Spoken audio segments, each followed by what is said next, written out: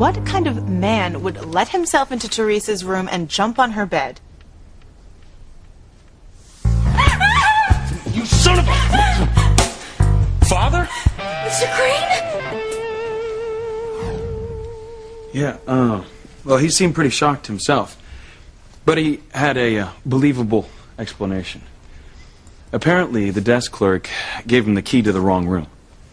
Well, it sounds like it could have been an honest mistake, but poor Theresa, she must have been completely shaken up.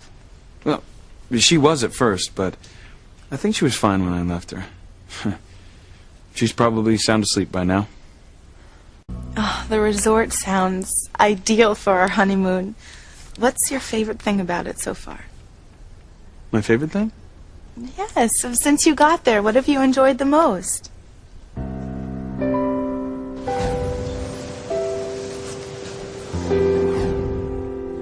Well, you know, it's hard to say with you not here. I want you here more than anything.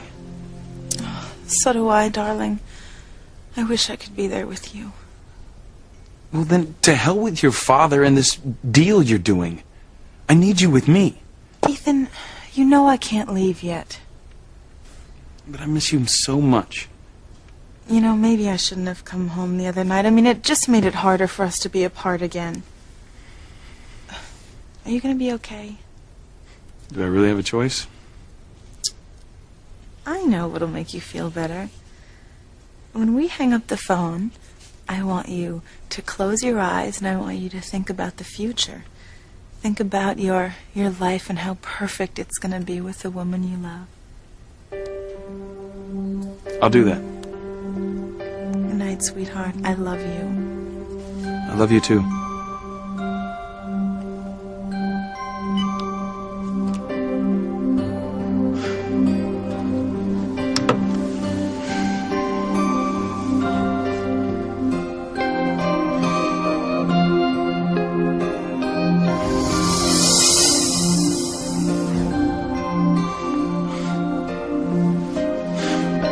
Is wrong with me?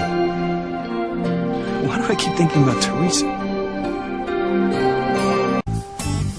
What What do you mean, Mr. Crane?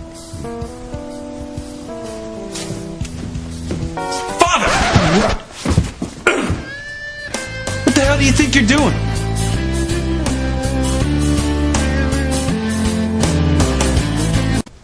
What do you think you're doing, Father?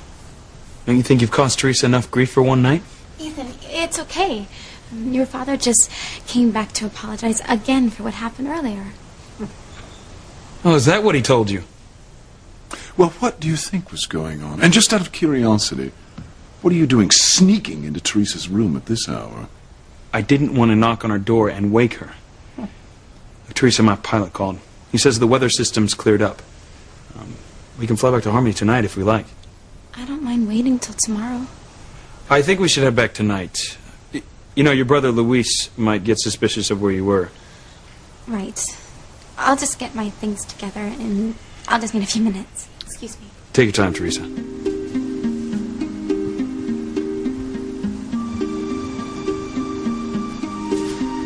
Don't make a fool, Theresa. I know exactly what you're doing here. Don't you ever get near her again. I've seen you this hot under the collar about anything. You can deny it all you like, but you've just given yourself away. You're in love with Theresa, aren't you? I'm not in love with Theresa. I just want you to stay away from her. She is a sweet, innocent girl, and I won't let you corrupt her. I think I've got. Is, is everything okay? Mm-hmm. It's fine. Better get going. Bye.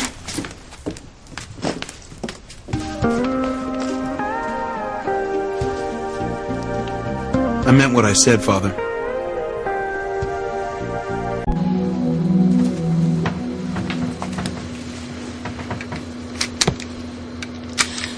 Oh no, What's wrong? my laptop. I left it in the room. I, I had to go back and get it. Hey, look, don't be silly. You know, someone in the hotel will send it back to us in the morning. Oh, but, but all the work I, I did on the wedding is on the computer. Well, you backed it up, didn't you? Yeah, right. The disc is in my purse. Then there's nothing to worry about. Is there?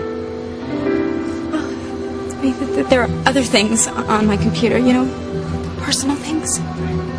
Theresa, don't worry. I'm sure no one's going to read them.